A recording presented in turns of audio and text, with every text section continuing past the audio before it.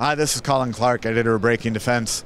We're here uh, talking about the Army's newest vehicle, a fuel cell vehicle they uh, did with General Motors.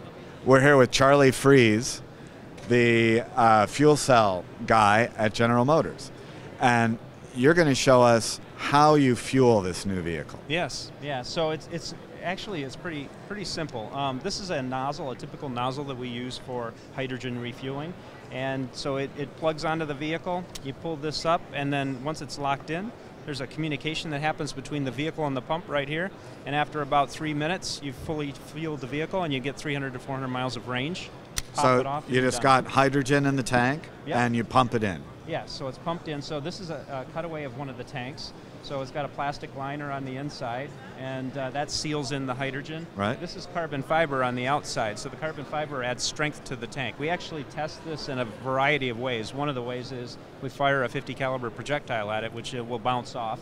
Um, if Wow. you want to actually try to, this cutaway itself, it went through 38 sawzall blades just to cut this thing out. So it's very, very robust. Even though we're storing 10,000 psi hydrogen inside the tank. 10,000 psi, 10,000 PSI. and you can hit it with a 50 cal. Yes, it's actually stronger when it's under pressure. Right. So, um, because it actually relieves some of the hoop stress in the system. So, our system is strongest when it's under those conditions because we're adding to the strength through the inside with the pressure. And you have very little chemical energy because it, the vehicle is more than twice as efficient as an internal combustion engine. So we don't need much. You're, you're hauling, you know, a couple uh, five-gallon gasoline cans equivalent chemical energy. Wow. And then if you ever had a system where you were, let's say, in a burning building with the vehicle or something like that, and you wanted to relieve the pressure, we have a way to do that with this on-tank valve. So we can we can vent the hydrogen even in a combustion situation, and it's basically like having a pilot on a furnace. Now, let's say you're out in the desert Mm-hmm. and it's 150 degrees in the sun. Yes. How does the hydrogen react? Yeah, it's it's designed so that we can run in a, wide range of ambient conditions, all the so way the, down to the minus standard 40. Army 40 below to 120 or whatever. Yes. Okay. Yes. Um, so take us around to the vehicle and Sure. show us what's cool and why. All right. Yeah, so this is the business end. Um, this is this is the stack, the, the and the balance of plant that makes the fuel cell system work.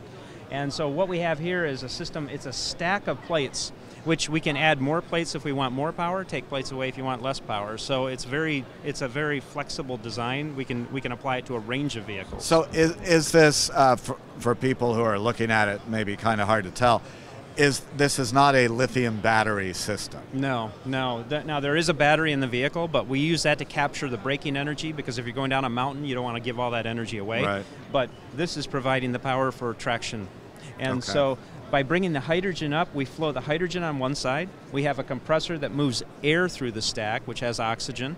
Oxygen sits on one side of a cell, hydrogen on the other side, Right.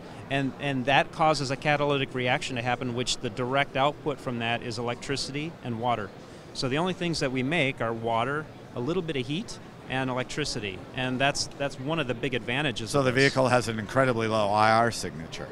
It will be it will be improved by not rejecting much heat, and the heat that you do reject isn't coming out of a tailpipe. We don't have a hot tailpipe. We have some low grade heat that we take through a radiator system, uh, but that's that's a, that's actually a big advantage, right? We don't have a lot of heat to dissipate, but we also are making about two gallons of water an hour. And have you uh, looked at ways to capture it for troops to use as they travel? Well, that's something we'd look at next. Right now, Okay. this vehicle is a demonstration vehicle because what we want to evaluate is the advantages of a fuel cell technology in a very capable off road vehicle. And then put that into the military environment, and then we'll do the testing to see how it does. Okay. This vehicle uses the, the, the low end torque capability that comes out of an electric drive, which is a big advantage. We couple that with these 37 inch tires and, and the way the vehicle's been set up with a very aggressive uh, suspension system, very aggressive approach and departure angles, um, and then a, a, a high ground clearance. Is the suspension system for this vehicle new to it as well? We've for this vehicle we've used technologies that GM had in house. So we're, we're taking Okay. our fuel cell technology, our Colorado that you can see here. We actually uh, this vehicle is sitting just between two wheelbases that are that are typical for the Colorado, long and short wheelbase. Um, so and we've used basically deep digging into our parts bins, we've been able to take out the different things that you see here. So, uh, for instance, the cooling system on this vehicle is is a combination of Corvette and Camaro cooling systems. So Ah. it's uh, it, because they're very capable cooling systems, and because this doesn't reject much heat, it's very easy to do. So, one of the things that has struck me talking to the folks here about this is traditionally the Army, for most vehicles, is at least three to five years from idea to having something that rolls. How did you guys get this built in nine, ten months? It's about yeah, just under 10 months.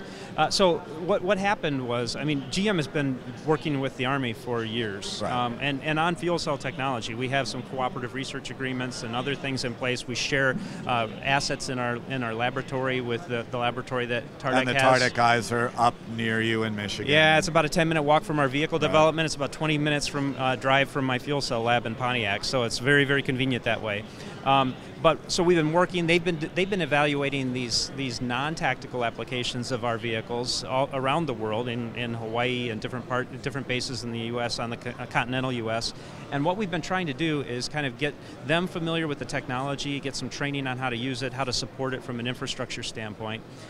But this is taking some technologies that GM was interested in, and we were looking at because we wanted to, for our own purposes, see how these off-road technologies and the and the fuel cell technologies could be melded together. Do you see this growing into a commercial vehicle? Well, this is a demonstrator. We can watch and see how this thing how this thing performs, and we can make those decisions. But uh, you know, this this was something where GM was interested in looking at this. Um, that when we talked to our partners, just as part of our normal business, they were very interested in it, and they said, "Well, we're really going to need to watch it and see how it works in the hands of the soldiers." So this demonstrator gives us the, the uh, very rapid way of putting together the uh, the ability to put all the technologies into one one vehicle and let them test it. so I understand uh, you got it done about two weeks ago. Yes. Is that right? Yes. Um, what as as you dealt with the army, did they do things differently than you had traditionally seen them behave? Well, so what this vehicle is using is, is our civilian developed technology. Mm. So, you know, we didn't have to go in. So this you is not- bounced right over all the traditional army development. well, this stuff. is this is basically using the way we, we work quickly and uh, leveraging investments that we've already made. And they were interested in the very same things that we were developing for our own purposes. So, you know, we didn't go have to go out and create something that was completely different than the direction we were already heading. Okay. So this gives them the ability to rapidly take advantage of that, leverage it, and go faster. Um, and then, based on what they see here, then they can decide if this goes directly on the mark or if they need modifications to meet what their their uh, application demands. Now I think I know what you're going to say, but I'm going to ask anyway. How much did it cost? Yeah, uh, well, it's a it's a demonstrator. They always cost a little bit more, Right. but. Uh, um, you know the, the good thing about fuel cell technology is that i as part of our overall investment in electrification, we have a glide path to bring the costs down.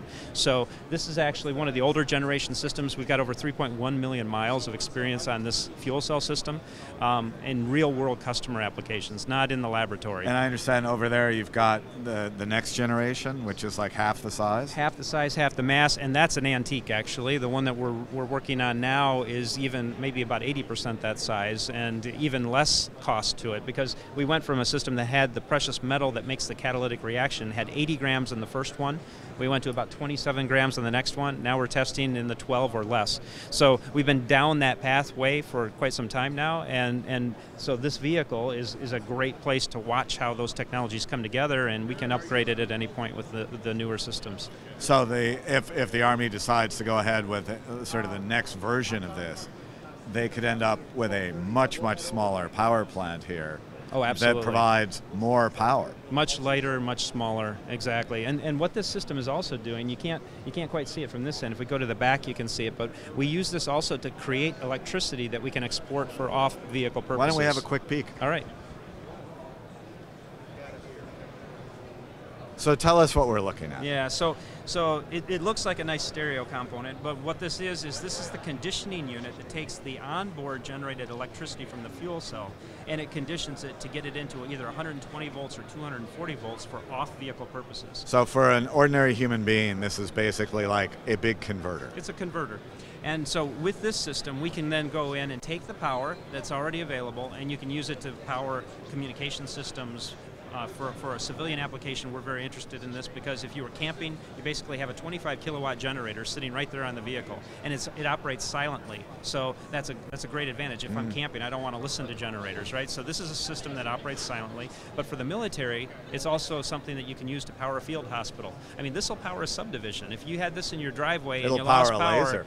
It'd power a Fif- lot of things. 15 to 20 kilowatts. A lot of things. 50 kilowatts peak. So, you know, we, Wow. we can actually peak at a little bit higher than that. Continuous is about 25 kilowatts. Okay. And so that's one of the things that's so interesting about the technology is the things that maybe as, as a civilian application we almost take for granted are actually very valuable for the military applications.